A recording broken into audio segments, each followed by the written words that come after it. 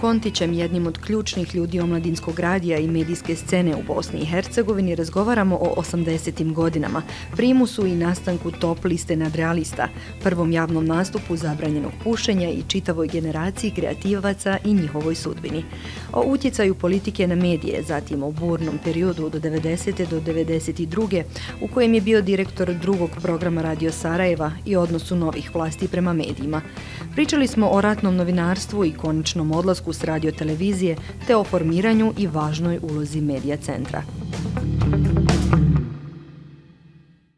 E, dobar dan poštovani gledatelji u novoj emisiji Kontro. S nama je današnji gost Boro Kontić, e, jedan od pionira zapravo omladinskog radija, omladinske i štampe u nekom, u nekom smislu riječi. Čovjek koji je napravio medija centar pokušavajući raditi ono što što bi zapravo trebali raditi državne institucije, u pravilu ne rade.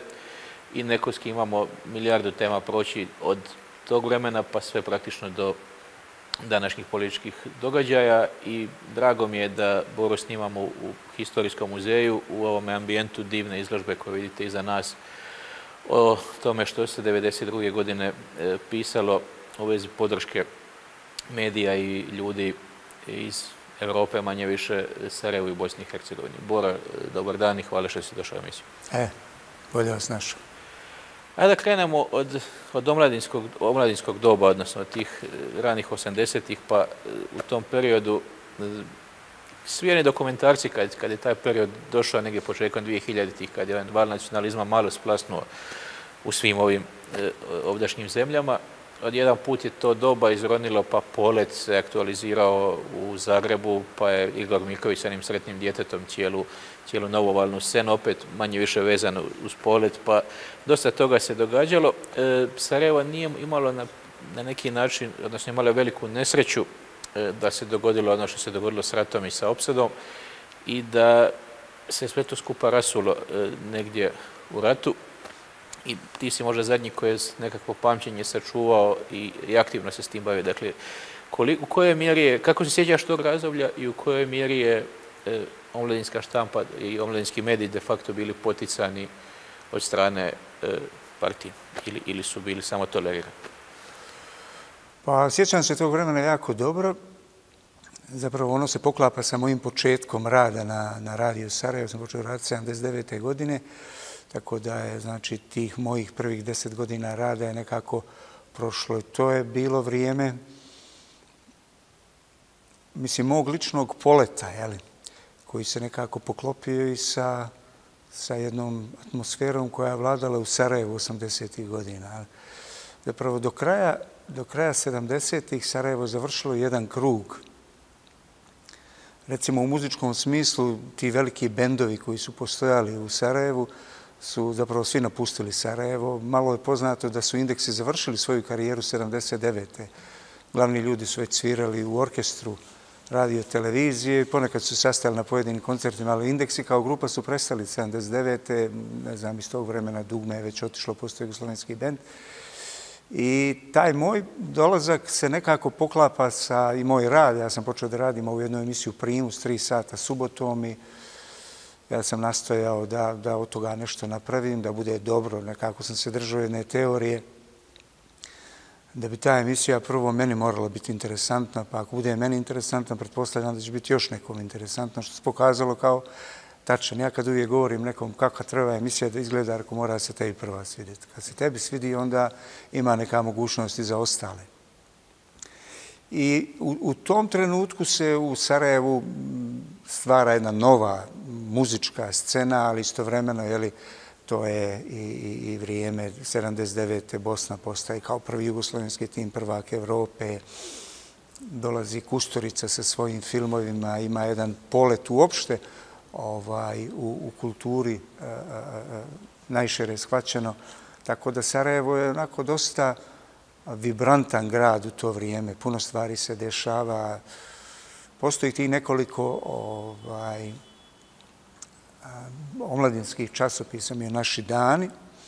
Ima ovaj drugi program u kojem se to vrijeme stvorilo nekoliko, odnosno našlo nekoliko mlađih ljudi. Tako da je tu bila ta jedna scena.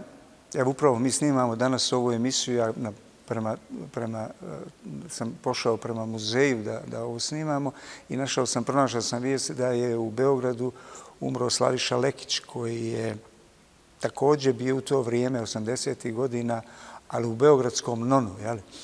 I interesantno je to da je on došao da služi vojsku u, u Sarajevo, ti je negdje 82. ja mislim, ili 83.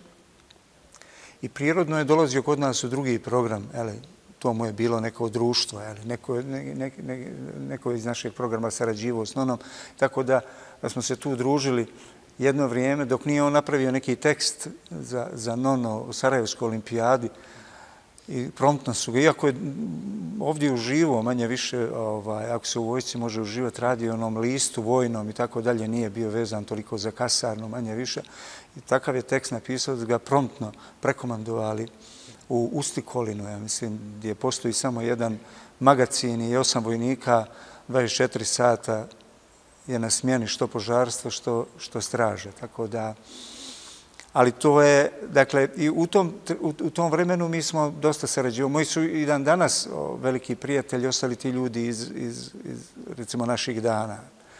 Zapravo, jedan trenutak kada je fotoreporter naših dana, Mladen Pikulić, kasnije, jeli, fotoreporter oslobođenja, danas ugledni fotoreporter u, u Holandiji, u Rotterdamu, ali kad je on napravio kao mlad dječak, mislim da li je još uvijek studirao, ali je radio za naše dane, on je napravio jednu izložbu svojih fotografija i to je e, e, napravljeno u Cedusu, tamo u onoj zgradi na broju 44 u, u Maršala Tita.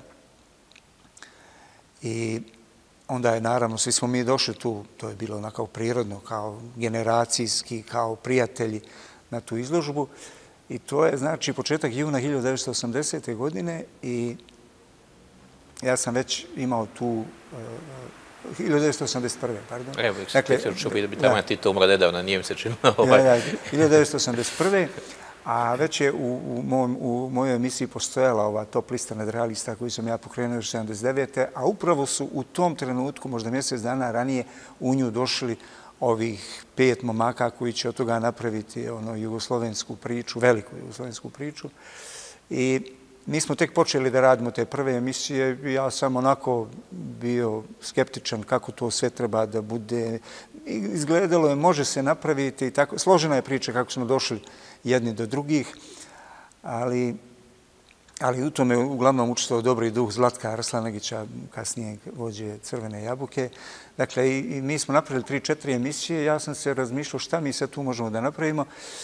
I na početku, i na toj izložbi, zapravo Mladen je pozvao ovaj, zabranjeno pušenje da mu svira. To je, ja mislim, prvi koncert, javni koncert zabranjenog pušenja u Sarajevo. Oni su možda par mjeseci prije toga bili na nekom koncertu ovih e, mladih grupa i, i svi su primijetili da su neobični, da su onako drugačiji. Ja ih nisam gledao tada, ali sad sam prvi put i gledao na toj izložbi, iako ih već znam, rade kod mene u emisiji, dakle dvojca iz te grupe.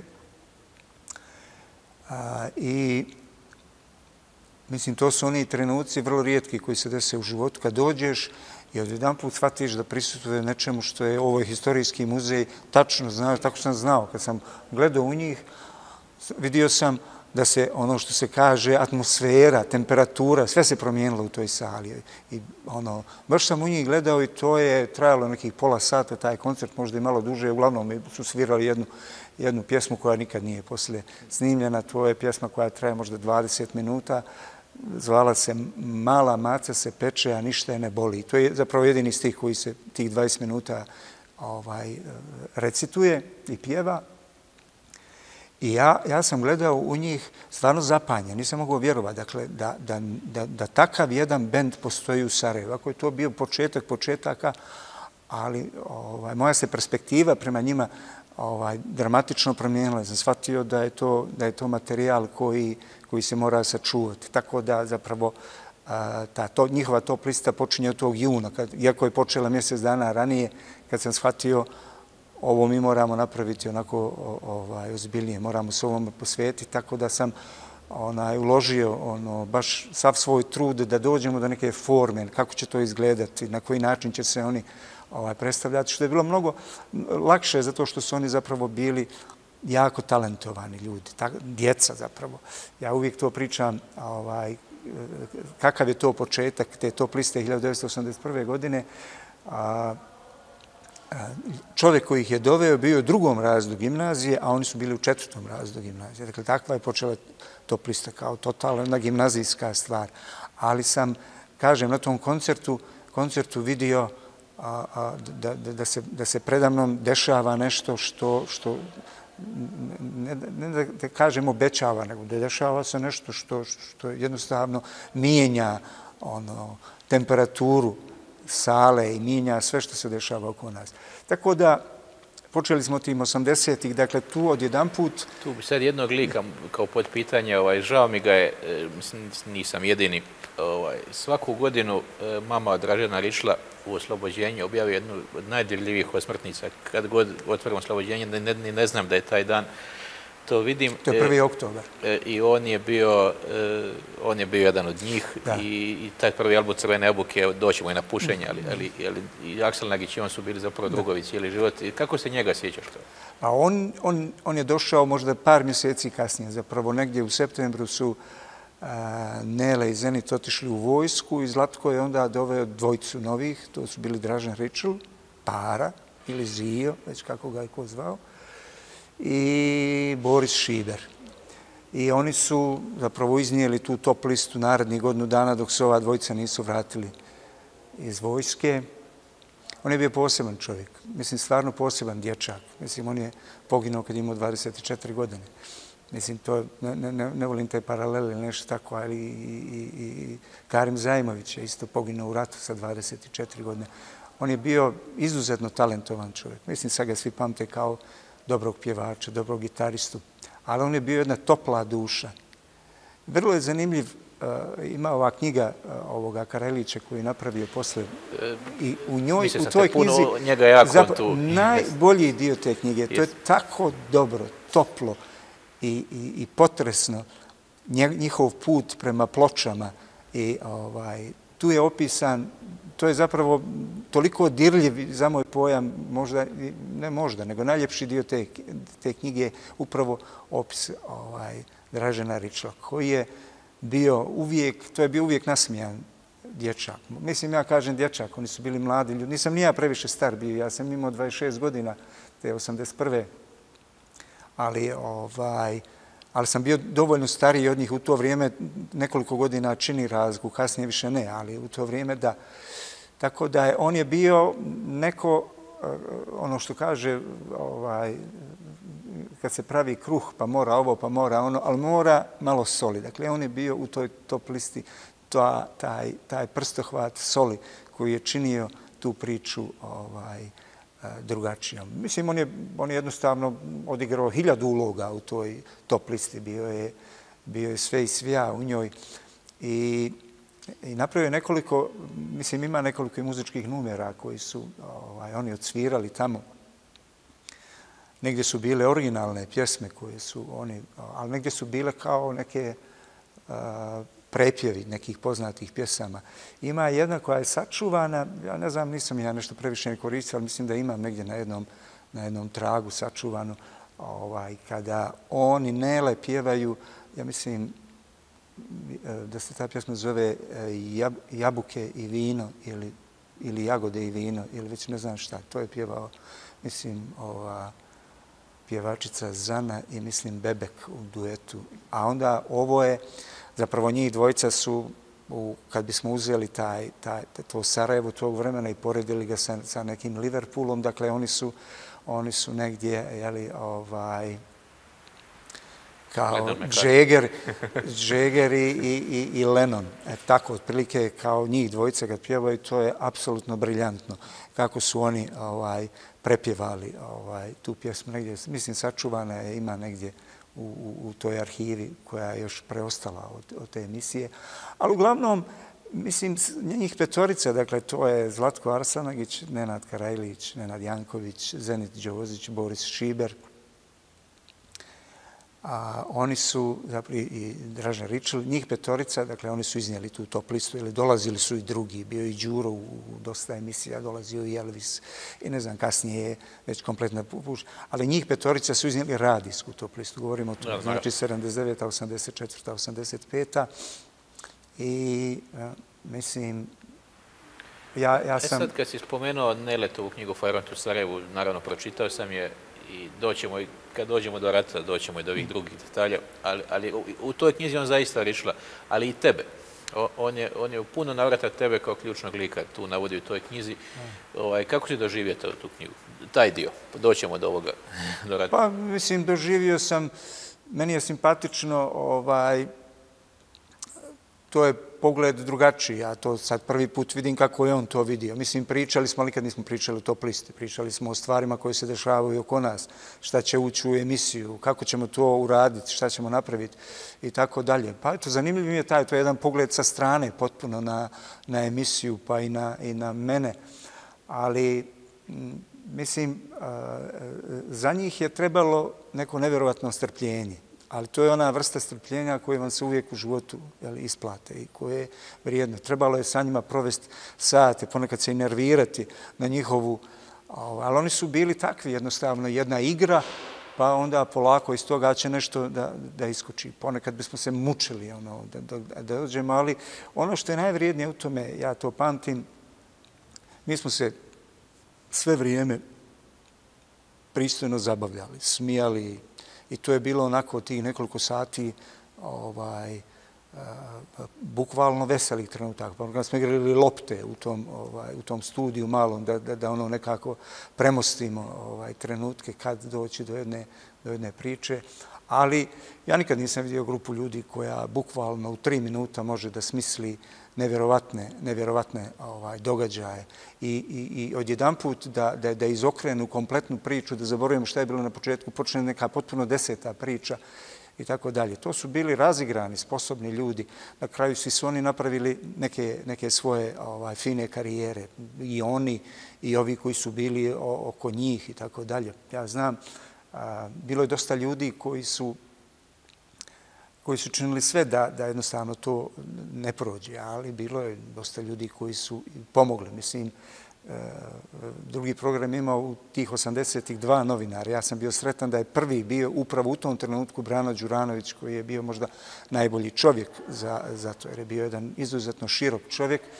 Iako je ludio i on uz mene stalno i govorio šta će ti ovo, gdje smo zašli i tako dalje i tako dalje, ali nikad nije zabranjiva. Uvijek se trudio da, ono, da izvuče maksimum, da, da, da podrži kad je bilo vidljivo da, da, da, da, da, da, je, da je to, jer tada niko nije podnosio šale. Mislim, to, to kad, kad čovjek sada, ljudi to ne mogu uopšte da shvate. Ja sam gledao možda prije godinu dana jedan, jedan uh, zapravo spektar, onaj omladinski časopis izašao 70. I oni su negdje na kraju objavili neka dva teksta koja su toliko benevolentna. Mislim, toliko su oni onako malo neka šala, ništa posebno bukvalno su tradani, oni su već, iza toga su bili zabranjeni, mislim zabranjeni, zatvorili su jedno šest, 7 mjeseci pa su onda promijenili ekipu i tako dalje. Zbog toga tako benigna teksta se nadigo kompletan gradski komitet da napadne, da je to i tako dalje i tako dalje. To su 70. Je li istina, e, ta teza se provlači i kroz pisanje Željka Krušelja o poletu i kroz taj Mirkovićev film i kroz mnoge povisničarske radove, da je zapravo taj pod navodnim, mislim, sloboda u punom smislu riječi 80-ih, ta kreativna eksplodirala zapravo s Titovom smrću. Je, je li to uzročno posljedično povezano? Mislim, ja ne znam je li uzročno posljedično povezana, ali se zapravo desilo. jer ovo se desilo nakon Titove smrti godinu dana, ali nakon, nakon toga, tako da moguće, ali do 89. do 90. godine ovaj, to je to je bio još uvijek. Ako nije, partija je naravno 87. Ovaj, se predala nakon ovog eh, slučaja Agrokomerc, ona je već prestala da, da vrši tu funkciju. Do 87. je bila jako stroga i uvijek je bilo ovaj teško. Međutim, ovo je bio drugi program radija. To je margina margine. Na radiju se pratio dnevnik u 15, red dnevnik u 19 i političke stvari.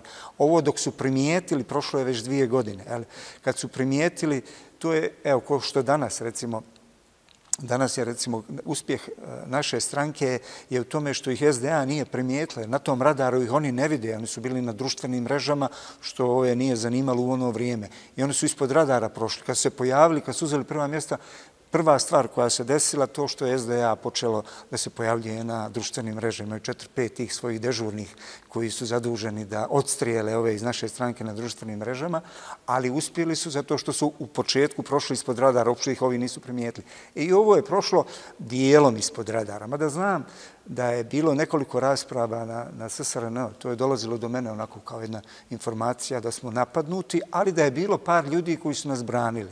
Nas u sreću. Mato Tomičić, to ću uvijek ime ovaj, zapamtiti, ovaj, umro je prije možda jednu godinu dana, ali zapamtio sam da je on bio taj koji je na, na, na, na SSRN, kad je napadnut, ustao i rekao, ne, ja to slušam, kaže, svake subote, to je odlično, jako je dobro, interesantno, ovo ono, ali uspio je da na neki način zato mi taj, taj, taj prvi udar. Ali, mislim, to je, to je i na radiju bilo, ovaj, ovo sam počeo govoriti, tim nekim ljudima kojim sam ja govorio, Ovaj, pa pazite, ja radim tu emisiju, ja sjedim s tim ljudima, ja znam kako se to dešava i tako dalje. Pa mislim, možete li meni vjerovati da se ne radi ni o čemu što dira i ovu državu i sistem i tako dalje. To je jedna emisija koja nastoji da bude zabavna. Negdje se očeše od neke politike, negdje od ovoga, od onoga, ali ništa tu nema zato što biste se vi trebali zabrinuti.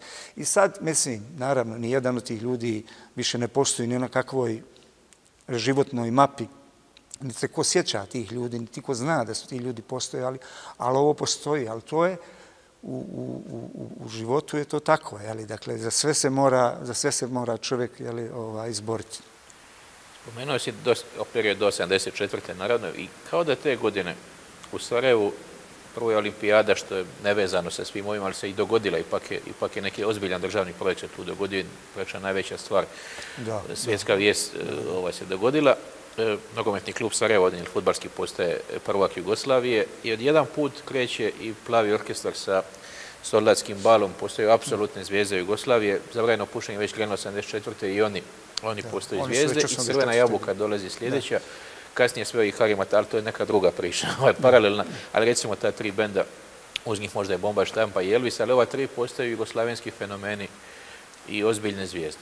E, I da li, da li je onda e, da li onda oni odlaze i prema televiziji u više sfere, dakle kako je to teklo, e, taj period tranzicije? Da, oni su još 84. godine, dok je postojala radijska ova, emisija, napravili tu svoju prvu televizijsku emisiju, koja je bila onako interesantna, već je odma u, u, u početku ono promijenila, mada su ljudi, bar u, u Bosni i Hercegovini, dobar dio ljudi je, mislim, njih znao, jeli, kao, kao radijske, već mislim, prilične zvijezde. Ali oni su, ja to nisam ni znao, nego kod nas se to nešto nije ni pratilo, jer kod nas nije bilo na radiju bitno ili tu emisija slušana ili nije. Uglavnom je bilo bitno da slučajno šta ne uradiš protiv jeli, ovaj, eh, ideologije, ali od jedan put kad je, ne znam, neko je radio neku analizu slušanosti radija, ja sam zamolio tog čovjeka, pa dajte stavite neka četiri pitanja za primus. I onda od jedan put se ispostavilo da je, da je ta emisija jako, jako slušana. Oni su je negdje procjenjivali u to vrijeme između 800 i hiljada i milion, što je za, za radijske uslove bilo ovaj, fantastično. To. Mislim, možda je neka od emisija, recimo Folk Filđan ili Đerdan, ili ne znam, tih koje su imali baš ono, ovaj, narodnu muziku, što je u Bosni i Hercegovini ultimativno, jeli, ovaj, ukus većine ljudi, ali da ovdje imate no, rock and roll i da imate 800 do milion, to je bilo ovaj to je bilo onako prilično. Ovaj. Mada se to ništa nije promijenilo ni u njihovim honorarima, ni u mom statusu, ni u statusu te emisije, ali meni je bilo drago da znam da je, da je, da je to tako. Mi smo nekako ponekad i tumarali u mraku, ovaj, radeći, radeći te emisije, ne znajući koliko te sluša, ko te sluša, šta imaš. Ja sam bio ubijeđen, recimo, da, da, da je rock and roll i ova vrsta emisija koju ja radim, da je to zapravo nešto što ljudi zaista hoće. Da bi negdje tamo krajem 80-ih, kad smo počeli praviti neke prve analize, ovaj, prve velike, dobre analize, ja shvatio, odnosno dobio iste analize, da 70% slušalaca radija zapravo zahtjeva medicinske teme, da je to zahtjev, zahtjev broj 1. Mi smo tada mijenjali strukturu drugog programa koji sam ja već tamo na krajem 80. postoji urednik tog programa, zapravo 90. te dvije godine do rata. Tako da smo, zahvaljujući tome, mijenjali. Mi smo imali neke medicinske teme, ali onda smo tome dali onako veći značaj, telefon, ljudi, od jedan put je to bio izuzetno slušano. Recimo, ali dobro, svaki čovjek jeli, ovaj, nastoji da, da, da, da, neki svoj pogled na svijet prenese i na taj, na taj rad. Jeli? Ajde idemo sad malo prema tom razdoblju, doćemo sad do te, te, kad si bio direktor dvije godine, te ključne praktično, ovaj, ali Rekao si 800.000 do milioni, to je vjerojatno jeste bilo tako kad su nadrealisti odšli na televiziju, pa to je postalo naravno puno gledanije, ali svi oni, pa i Nele u zadnjim intervjuima, eto i na kanalu je imao kod Nogena Blagovića ovaj, sat vremena bio nedavno, prije dvije godine možda intervju, svi oni tvrde, i ne samo što tvrde, nego se jesu, ne svi, ali skoro svi angažirali u nekom političkom smislu kad je to krenulo, kad su krenuli više stranački izbori, mahom za reformiste, e, snimali su čak i one, one reklame, pa, odnosno spotove, pa Bregović sa onim džamije, crkve, ovo ono. Dakle, imali su jako ironičnu tu emisiju, gdje su, mislim, jasno je bilo iz svega što su oni pokazivali tih godina da su nacrtali ono kako će to izgledati. Kako je moguće da onda je tako mali postotak ljudi glasao u Bosni i Hercegovini za, ne znam, SDP i za reformstvo? Pa posle rata u Sarajevu je imao koncert onaj Sinan Sakić, koga ja nikad nisam ni slušao, ali on je održao koncert u Sarajevu bez i jedne najave. To koncerta imao 12.000 ljudi u, u Skenderiji. Pretpostavljam da se tam tamom dozivaju, ne znam na koji način idu te, te vijesti, ali bez i jedne najave, bez i jedne reklame, on je imao 12.000. Ovaj, zapravo, pazite, rock and roll, koji je danas već umro, ja mislim, kod nas, ne postoji. On je bio margina, margina u tom društvu. Kao što su margina bili... Jesu li ovaj, onda mediji stvarali lažnu sliku društva? Pa na neki način jesu. Mislim, ja sam radio emisiju koju, za koju sam mislio da, da, da treba da je, da je radim. I to je bilo tri sata u, u jednoj suboti. Tako da, mislim, nije to nešto, nešto bilo, nije to svaki dan bilo. Svaki dan je išla, ne znam, Đerdan i ove emisije koje su bile, ali definitivno e, dominantni ukus jeli, ovaj, stanovnika Bosne i Hercegovine ide prema, prema folku. Jeli.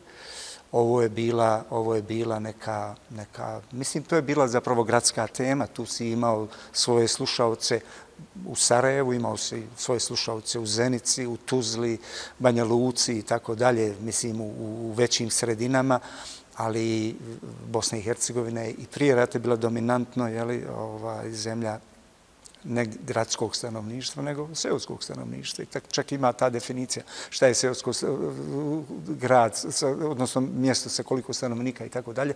To je bilo dominantno. Mislim, eh, ali Pa, mi su, drugi su se, jeli, da li su pravili mediji lažnu sliku? Vjerovatno da, zato što je ona prvo, prije svega bila ideološka slika. Znači su, jeli, novinarstvo je bilo, ali što se govorilo u ono vrijeme, društveno-politički radnik. Bili smo ljudi koji su slijedili jednu ili, ili nisu bili ili nisu dovodili u pitanje jednu ideologiju. Na kraju nekoliko je aksioma bilo tog, tog novinarstva. Neke stvari se, znači, nikad nisu trebali ni dokazivati ni dovoditi u sumnju. Ti to drugi svjetski rat, partizanska borba, savez komunista i tako dalje, to, to jednostavno je mm, gotovo bilo nemoguće jeli, dovesti, dovesti u, u pitanje. E sad to razdoblje mi je jako zanimljivo. To razdoblje koje je malo istraženo i s kojim se, zato što se ono sve da dogodilo nakon toga je ostalo negdje 80. još imaju taj kultni, kultni status, naravno, i, i dosta se o tome u pop kulturi piše zadnjih godina i snima dokumentaraca, ali to razdoblje 90. do 92. kad ste bio direktor radio. Ne, direktor drugog, drugog programa, programa daleko od radi. Ovaj, dakle, to vrijeme je vrijeme, krajem godine su izbori, e, vjerojatno je već bilo jasno i u kampanji e, kamo to ide. E, I to vrijeme od novembra pa do 6. aprila 92. znači koliko je to godinu i 5-6 mjeseci, kako ti izgleda Sarajevo, kako izgleda rad u medijima i kako ti izgledaju e, E, svi ti ljudi koji donose vrlo različite odluke, a izgledali su kao nesalomljiva družina isto mišljenika na kraju kraja.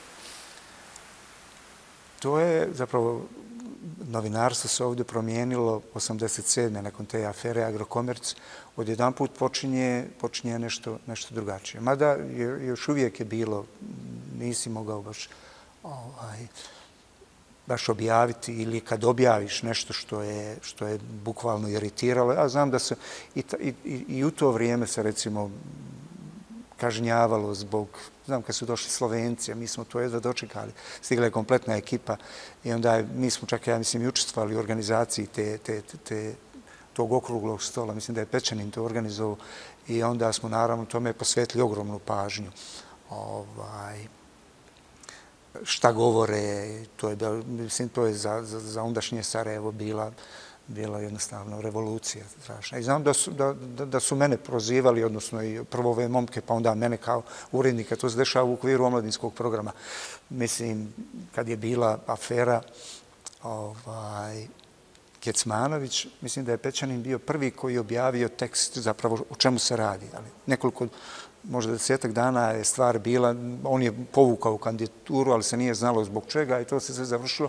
I on je prvi otišao u predsjedništvu i kod tadašnjeg šefa ove komisije za ustavna pitanja, koji mu je rekao da, on je radio špijunske poslove, dakle to je njihov bio stav i on je to napravio priču i objavio, ali ono što je interesantno, to je znači 89. godina, dakle još prije ovoga, kad je on objavio tu priču na, na omladinskom, ja se više i ne sjećam toga. On tvrdi, mislim, kad mi je napravio mi jedna, jedan, jedan mali izvještaj o tome jedan put za, za, za knjigu, koju završavam i ovaj i on kaže da da je donio taj tekst da sam ga ja pročito, rekao snimi i objavi i da je on to objavio i da je bukvalno za 10 minuta stigla ovaj iz iz iz uredništa radija da se odmah ukine da se više ne jer smo pozvali slušaoce da da komentariše to.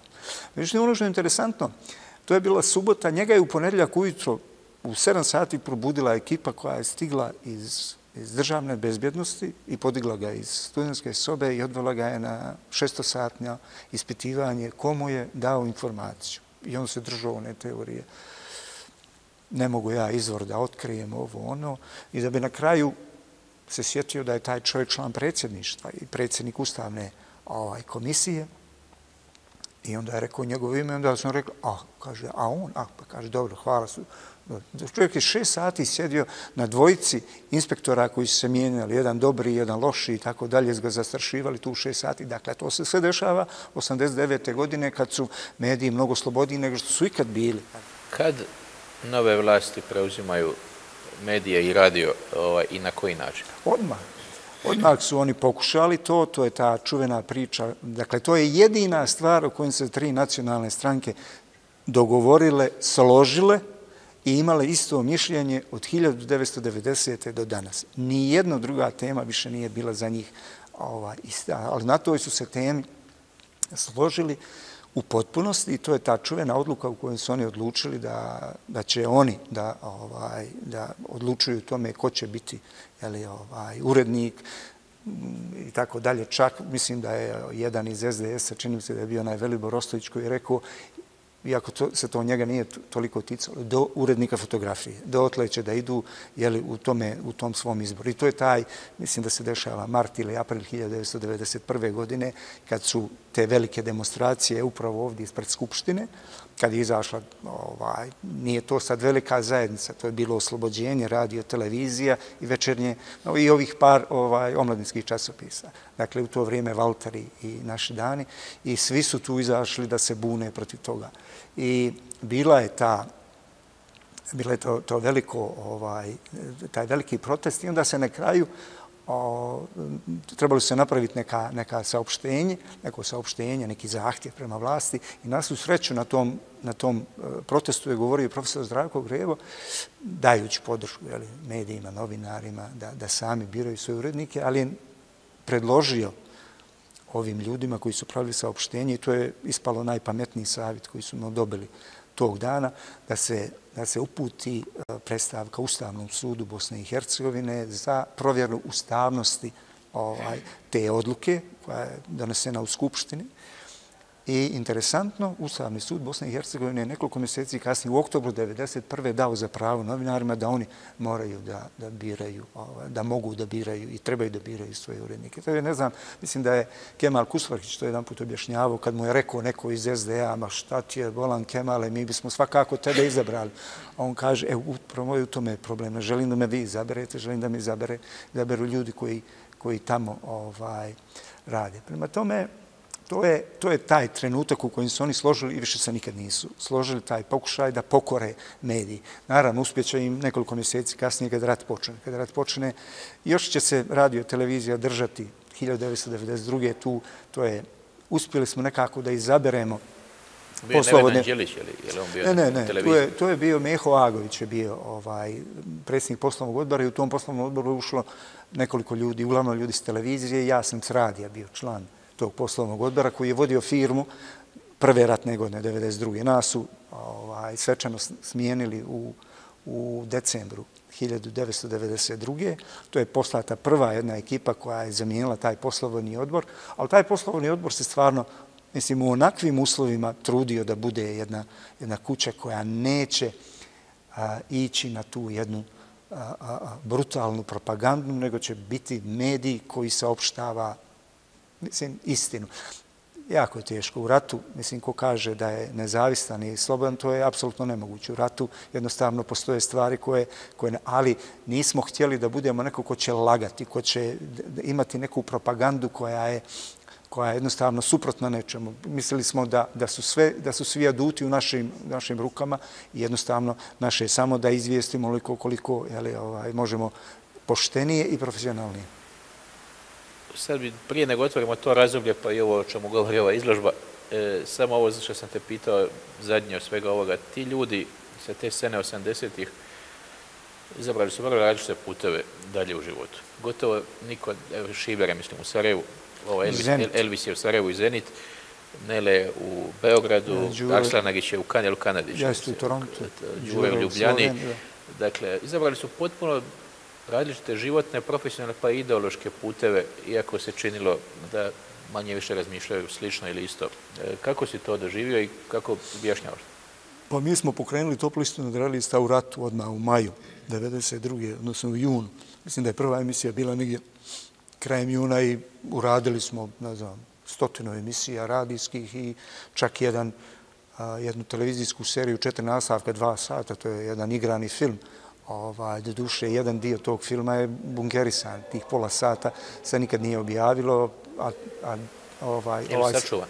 Pa, pretpostavljam da jeste, ne znam, mislim, ja, ja sam već vrlo brzo nakon toga i napustio radio, odnosno radio televiziju, ali mi smo, dakle, radili, tu su bili svi, osim Nele. Dakle, Nele, ali Nele je otišao već u, u, u početkom, mislim, početkom aprila ili kraj maja, e, kraj marta, početak aprila, ali mi smo, recimo, u ljeto 1992. godine to plisto radio i Zlatko Arsanagić i Đuro i kompletna ova ekipa, naravno pojačana sa još nekoliko ovaj, briljantnih momaka, među e, njima i ovaj Batko, koji je baš onako pronio tu, tu radijsku i televizijsku top listu zajedno sa svim ostalim. Za moje veliko čudo ovaj, i Davor Sučić, koji, jel, koji vodi sada ovaj bolji dio zabranjenog pušenja, on se pokazao kao briljantan, jel, kao glumac i kao, ali mislim, kad je neko talentovan, gdje ga god ono što kažu posadiš. Ovaj.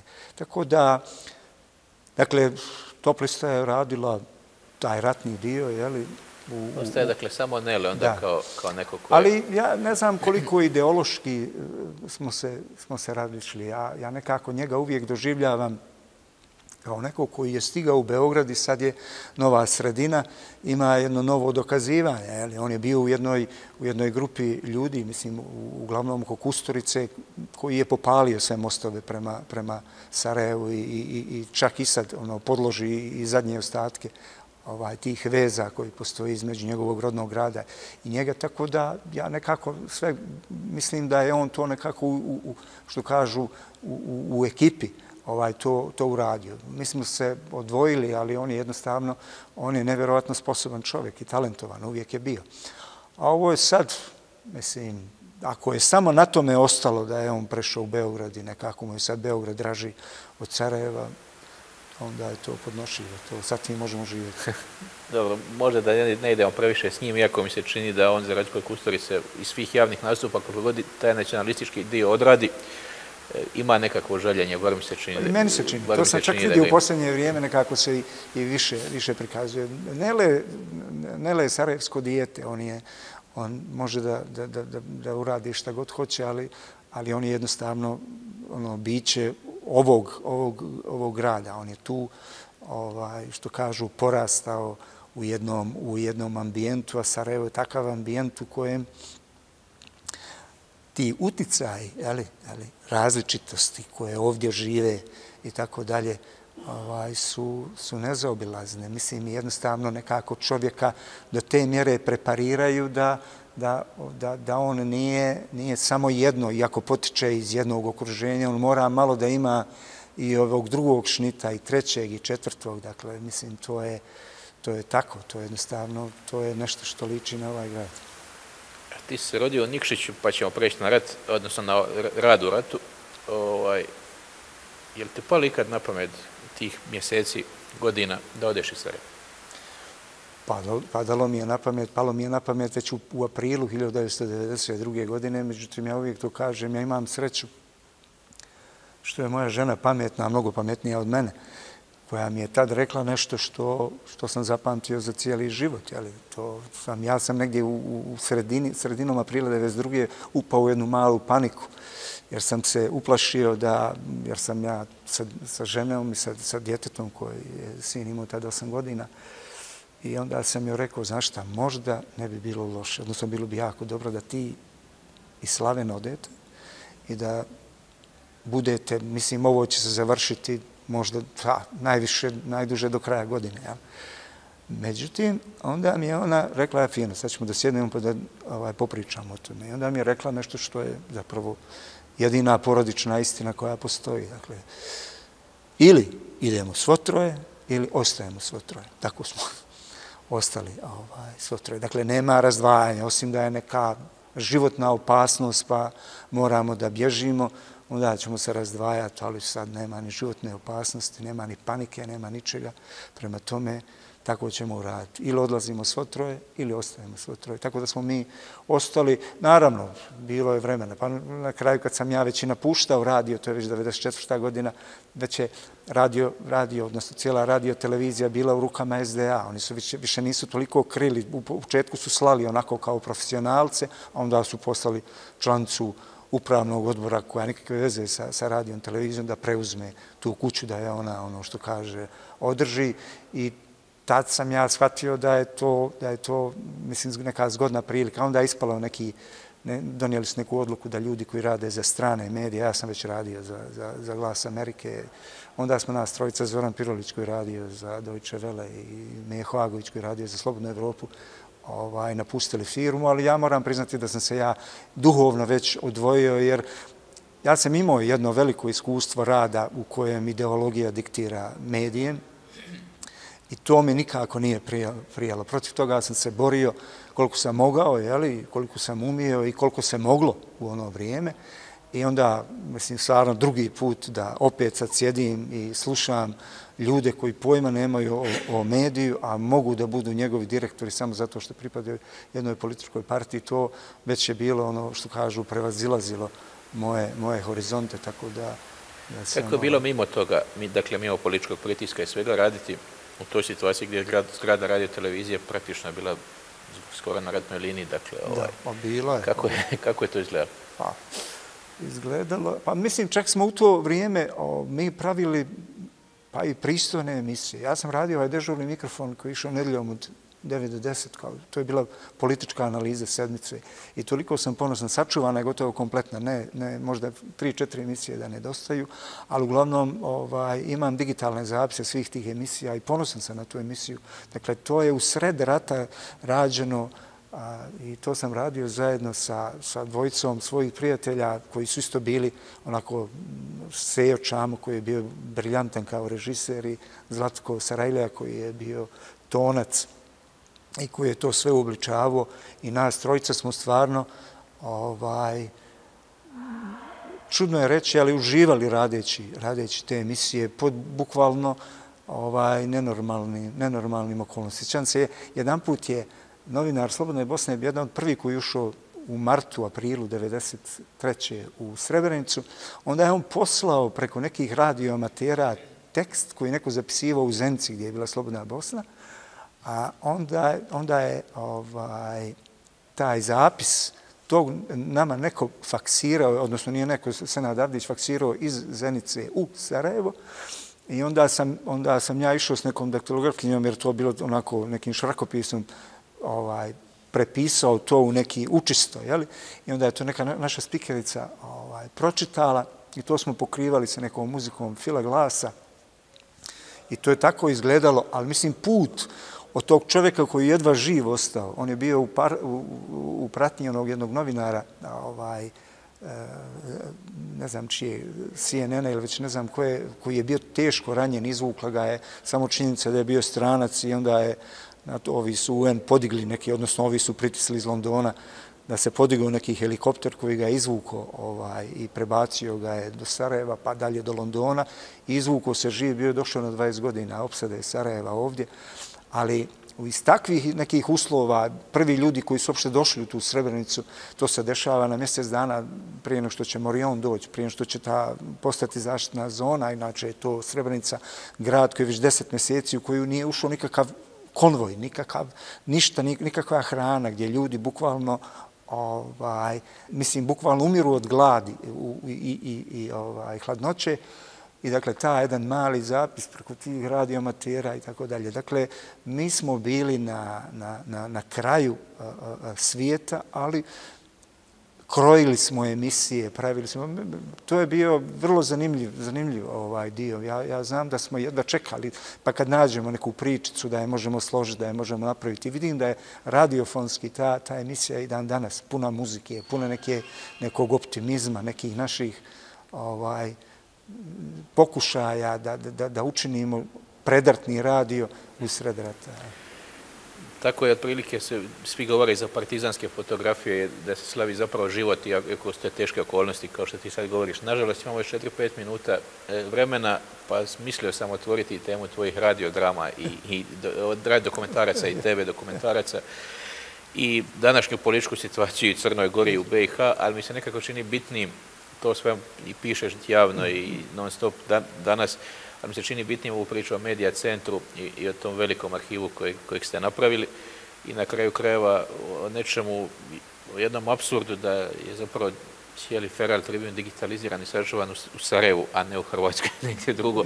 Dakle, o, o medija centru zadnjih par minuta, kako ti je palo na pamet? Pa, ne, to je bila ideja, zapravo ta ideja se rodila unutar Soros fondacije, koja je u to vrijeme, 1993. kad je krenula, dosta finansirala medije u Bosni i Hercegovini i onda je došlo do jedne ideje pa zašto bismo samo finansirali medije, odnosno samo im davali tehničku opremu, ne znam, ponekad i neka sredstva, ovo ono, zašto ne bismo napravili jedan centar, jer ispostavilo se da je u toku rata jedan put radio, mislim, mediji su u Bosni i Hercegovini bili prvo centralizovani, sve gotovo bilo locirano u Sarajevu.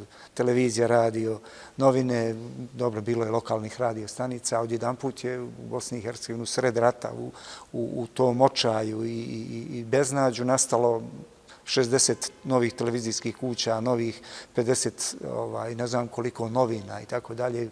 I ušli su ljudi, ono, gotovo nepripremljeni. Svi su htjeli biti novinari, ali malo je bilo znanje. Onda je odlučeno da se napravi taj centar koji je krenuo kao centar za obuku novinara i mi smo napravili tu jednu BBC, zajedno s BBC-em školu, kroz koju je prošlo par stotina ljudi i mnogo stvari, ali između ostalog smo napravili i taj, tu bazu podataka i sad, naravno, posle toliko godina, to je sad e, na internetu digitalno, znači pretraživo je, možeš iz Novog Zelanda koliko iz Sarajeva kopati i pretraživati te novine. U međuvremenu smo digitalizirali gotovo kompletnu štampu Bosne i Hercegovine iz 19. vijeka, od one prve od bosanskog prijatelja iz 1850. preko jasnika iz 1866. Bosanske vile, nade, ovog Zemaljskog muzeja, glasnika, desetine još novina koje su izlazile, Sarajevski list i tako dalje i tako dalje. I dosta toga iz, iz 20. vijeka, naravno ove sve dnevne novine koje izlaze kod nas, one su, one su svaki dan, jeli, se pohranjuju oslobođenje, avaz, dnevni list, nezavisne novine, glas srpske i tako dalje, sve te koje, novine koje postoje. A između ostalog smo digitalizirali, zahvaljujući tom nekom prijateljstvu sa ljudima iz Ferala, njihovoj, njihovoj dobroj volji, jeli smo digitalizirali Feral tako da sad on u digitalnom obliku, naravno jeste u Sarajevu, ali napravili smo i knjigu, bili su i sve to mogo, ali može da bilo ko da pristupi tom materijalu. I kad smo radili tu knjigu, taj Feral digitalni, onda sam ja zamolio ovaj, Mirka Kovača, koji je i bio pisac Feralov, ali u tom trenutku mislim da je bio najugledniji novinar na cijelom ovom prostoru, najugledniji književnik na cijelom ovom prostoru, da napiše uvodni tekst, da napiše nekih, ali mi smo imali neka, neka sredstva um, koja smo skupili i ta su sredstva zapravo uglavnom otišla na tu digitalizaciju, na ta kopiranja, na taj, na taj veliki rad, da se svi ti tekstovi digitalizuju, da se slože, da se naprave i tako dalje. I sad je gotovo ostalo bez para. I ovaj, ja kažem Mirku, pa znate šta, reku Mirku, bilo, da, bilo bi odlično da bi on napisao naravno taj tekst, a honorar ćete dobiti tako što ću vam poslati jednu finu majicu. E, to je ova majica koja inače, koju je pravio Zdravko Grebo uvijek za 25. novembar, uz dan Zavnobiha, jel'i? Na njoj je zapravo fotografija sa, iz Mrkonjiš grada. U prvom planu je tadašnja Skojevka Rada Vranešević, koja govori na tom skupu. Šest mjeseci kasnije ona će biti u drvaru. Kad dođe desant na drvar, poginuće među tih nekoliko Skojevaca koje su ovaj, ubili Njemci kad su, kojim su oni jeli, zapravo držali front prema, prema pećini gdje je bio Tito. I ja sam tu majicu ovaj, poslao Pakovo i poslao Mirku Kovaču, rekao ovo ti je honorar za ovaj tekst, ali sam on, on bio u stvari bio veliki džek u svemu. Onda se on vratio, poslije, ne znam, poslao mi je posle 15 dana jednu fotografiju, on je dobio jednu veliku nagradu, mislim da je to jedna od zadnjih nagrada koju je dobio za, na, za, za, za knjigu. A, da li je ovo vrijeme koje se udaljava, ali mislim tamo na onom festivalu u Puli i poslao mi je fotografiju, izašao da primi nagradu u majici honorar za, za, za Ferrar. Boro, puno ti hvala, eto, žao mi što nismo ove druge teme stigli otvoriti, ali nekako mi je stalo da ove, bit, da ove bitne stvari, naravno, da ove bitne stvari ostanu e, negdje zapisane, da ih izgovoriš i puno ti sreće u daljem radu. E, tebi također, hvala. Hvala vam na pažnji, poštovani gledatelji, vidimo se sljedeći tjedan.